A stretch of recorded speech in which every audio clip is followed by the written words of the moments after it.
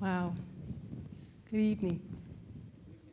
You guys are so fortunate this evening. I'm going to tell you why. Because you get to hear something concerning Muskegon Heights at the beginning of your day, and then we're coming right back at you at the end of your day. The piece that you heard probably at the beginning of the day was probably a little more warm fuzzy. Me, I'm very rarely politically correct, and I'm just more of a hard hitter. So if you would just allow me for a moment just to be who I am and allow me just to kind of flow. The whole note cards, and it's not me. I haven't slept in probably about two days preparing for this thing. So, and then I've kind of OD'd on coffee. So I got these jitters, not along, along with the nerves. So bear with me, and I guarantee you won't be um, left behind. The images that are coming up before you, you're probably thinking, why those images, and what's the relevancy of them in her um, speech. Some of these images here that you see, I, I wanted to give you a glimpse into my mind, if you will. Many times, these are the images that I go through. Those are the questions that I ask myself before I step into a presentation like this. Because the people that I represent, starting at the age at the third grade level, we're already determining if they will be convicts and how many beds we need to put them in coming forward.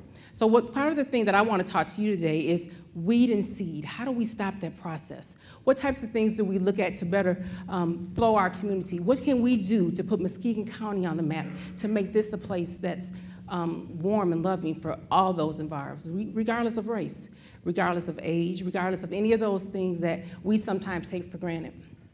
So I'm going to start with you. My name is Kimberly Sims. Many of you probably know that. Some of you don't.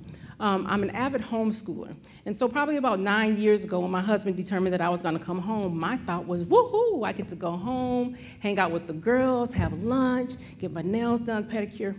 I thought something totally different. We never knew that we were gonna homeschool. So of course, me being who I am, wanted to take homeschooling and just really embrace it. Give my kids all the experiences and really teach them things that they weren't gonna get traditionally, right? So my thing was, I'm gonna plant a garden. So one of the things I did when I planted a garden, I called my Aunt Blanche. Some of you may know her. Love her to death. And I planted this garden, and I'm excited. My garden is starting to grow, and there was this little cucumber plant growing out, and I'm raking around it, and I'm tending to it, and I'm thinking, yeah. Months went by, nothing. And so my aunt called me, and she said, so what's going on with your garden? I was like, I don't know what's going on. She comes over to the house, let me look at it. She takes my cucumber plant, so I thought, and she rips it up.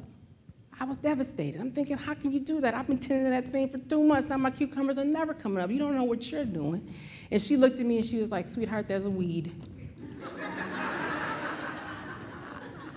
I said, I'm sorry, that's a who? She said, that's a weed. You will never get anything if you continue to let that grow.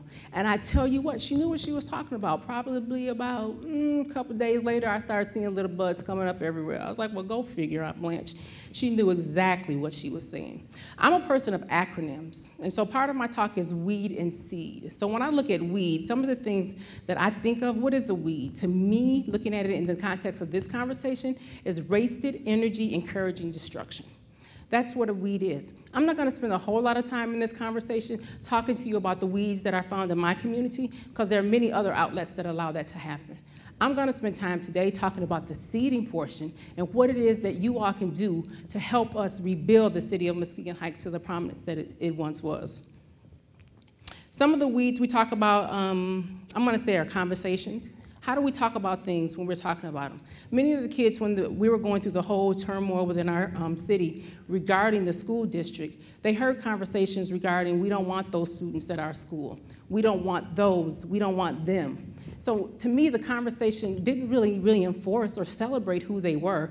They began to see themselves as those kids and them, taking the humanness out of it. So conversation, programming that we do in our county, we have some awesome programming. But sometimes I have to stop to wonder and think, the programming that we offer, does it teach them independence or does it further foster dependency? Because many times when you have a program and it fosters dependency, that weed aspect can grow deeper and go deeper and, find, take root and becomes that much harder to get out.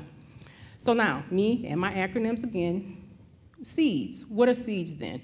I look at seeds as being sustainable encounters empowering destiny.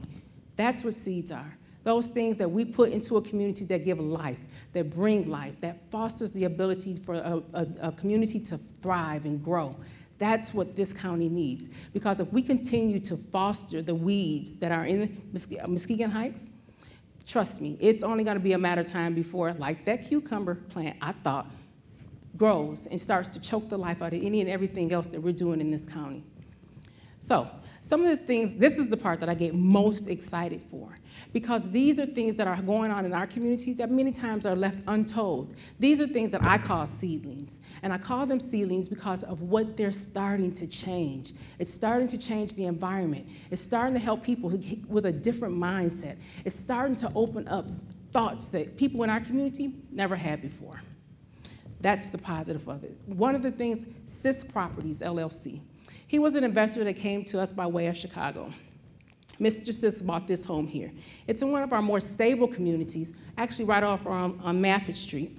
Um, and he rehabbed the entire house, gutted it, front and back. New plumbing, brand new roof, the whole thing. His goal was to put a young family into it to start stabilizing the community. Because what we have right now in our community is most of our population is over the age of 60 and between the age of 16. So we kind of have none of that middle class, that age group that kind of balances our community. So his goal, he saw, was to come in, put a young family into this home, and to begin changing and stabilizing the neighborhood.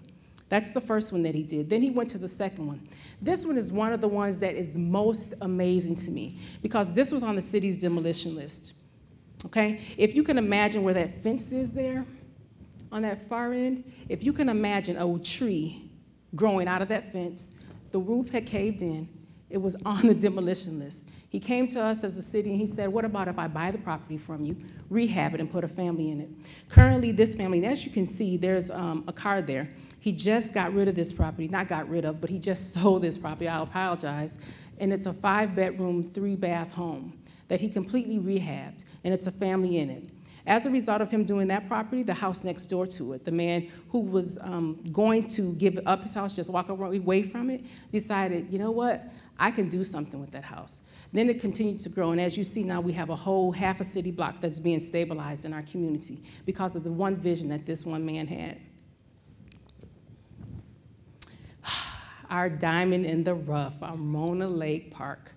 This is one of the things where I say we completely embrace the county in this one. This wasn't just about Muskegon Heights when we developed this park, redeveloped it. Phase one, excuse the pictures here. I couldn't find any really good ones. But this one here that you see, in phase one, we actually constructed a fishing house, fish cleaning station and bathrooms, a walkway, a new boat deck. That's a much better picture, isn't it? Yeah, I know. Um, that's our boat, our fishing pier there um, that every day. You can go out there and see people actually fishing off that pier now. The one before we had had kind of caved in, and so we're starting to revitalize the area. That was phase one. Phase two in Mona Lake Park is the one we just had the ribbon cutting ceremony for, where we took the whole other side of the park, redesigned all the basketball courts, put in a soccer field, softball field. We've had our Little League field revitalized, and we just got a grant. Oh, yes. I love grants. We just got a grant that allowed us to put in a softball field. That's where you see the red circle. Who in Muskegon Heights do you know play soccer? Yep, nobody's shaking. Yep, there's not many okay? Baseball, this gives the whole county an opportunity to come and use this park that's located in Muskegon Heights. So when the council, when we put our thinking caps on and we developed this park, it was to encompass the broader community, to bring people into our city, to be able to enjoy our city. Just like we go to Heritage Landing from our community and enjoy that, we wanted a way for other citizens to come to our, our community and enjoy that as well. We have businesses that are longtime businesses that have been in our community for forever, and they're continually investing. These two are what I call sealing. This is quality tool and stamping. They, they work alongside with Webb Chemical, and they took it up on themselves to say, you know what, we really need to do something with that Sherman Street corridor because that's where both of those businesses are located. And so they, their thing was, what can we do? So they started to do some different streetscape, move some things around to really start to be able to welcome people as they come into Muskegon Heights on Sherman. I'm always excited about little things like that. So, what do I think that it needs to happen in order for our community begin to thrive again? Whoever told you all that you couldn't live in Muskegon Heights? I'm just curious. Many times what happens is, when I, what I think happens is this, again, is just my theory. When white flight took place, not only did the resources and the people leave, but they took intellect as well. So what you have is right now in a situation in Muskegon Heights when you have a graduation rate that's plummeting, when you have the degree holding people. Now, mind you, my husband and I both own, we both hold degrees. We're actually in Muskegon Heights because of what I'm talking to you about today. We're in Muskegon Heights because we believe that the children in that community need to see people putting on suits and going to work. They need to see uh, people working hard every day. They need to see people and conversate with those with people who have experiences outside of their own. That's why we live in Muskegon Heights, and that's why I think other people should consider it as well. Then we need people who could work in Muskegon Heights. When you live and you work in a place, then it kind of begins to feel like home. It's more, you know, kumbaya-ish, if you will. Then we also, Ramona Lake. It's obvious, a great place to play. So when you have a community by which you can live, work, and play, our business district is set up for urban entrepreneurial thought. That's why I was so excited about this opportunity today, because not many times do I get to sit or stand, in this case, before people with an open mind to, to grasp new ideas and to think about something different. And so I'm hoping when I'm done that you might think about my community just a little bit differently. And I believe that if we can get people to live, work, and play, I didn't even use these, did I? Waste of time. So I believed, honestly, if we can get people to live, work, and play in our community, Muskegon Heights can be the epitome of what an urban community, a community should and could be. We in this county would be able to send a strong message to the whole state of Michigan to say, look, this is how it's done. This right here is what works. So I couldn't really figure out because I wanted this to be more of a conversation, more of a dialogue, but it sounded like, okay, well, how do you do that? So what I'm going to do to you, to you right now is just to give you some questions for consideration. One, yeah, I thought that was cute, just gonna kind of drop it on you. Do we have a mindset about things before we even give them a chance? And I, I, mean, I really want you all to take some of this opportunity just to kind of do some self introspection. If you want to share with me after, great, because I would love to talk to you. And if you choose not to, that's okay too. But I really want you all to take this opportunity to look inside yourself and really ask some tough questions, because that too is one of the things that I feel like Muskegon County is missing, and that's that tough conversation regarding race. Next question How, What do we tell our children by the way we choose to live? Every day I look at my sons, my two boys, I'm getting ready to graduate one, yes. And then I have a five year old. So um, I look at my two boys every day and I want them to see and I want them to feel my passion for their community. I don't want them to leave home and decide that they're never coming back to Muskegon again. I want them to be able to take what I'm instilling in them so strongly grow with it, and then be able to come back and give something to this community. Then the next question is do we live what we say we believe? There's a lot of good talk. A lot of good talk. I hear it often. And trust me, this talk isn't just for you. There are some things that I have to work on myself with as well. So I'm, I'm, I'm talking to you just like I'm talking to myself. Do we really say, do live the way we say and believe? And then the last question whoever told you you couldn't live in Muskegon Heights? How powerful would it be for a little boy to be walking down the street and to see a lady who owns a public relations company? What is that? You see, what, how powerful would it be for a judge or a lawyer to live in our community? That used to be. And them to be able to say, oh, yeah, that's Judge so and so. What message would that send to our children?